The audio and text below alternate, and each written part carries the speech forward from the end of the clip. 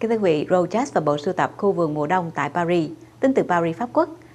Cả khu vườn mùa đông đã được nở rộ tại Paris khi thương hiệu Rojas được trình bày bộ sưu tập mùa thu đông 2016 của họ tại tuần lễ thời trang Paris. Giám đốc sáng tạo Alejandro Del Aqua đã tô điểm cho bộ sưu tập với những bông hoa rực rỡ của những mẫu áo khoác hoa, váy hoa và thậm chí là giày in hoa được thiết kế vô cùng tinh tế.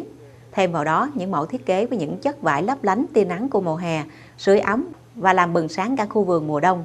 Nhà thiết kế Del Aqua muốn mang đến bộ sưu tập những kiểu mẫu nhẹ nhàng, tinh tế, trẻ trung nhưng vô cùng gợi cảm và quyến rũ, kết hợp hài hòa giữa các màu sắc chất liệu.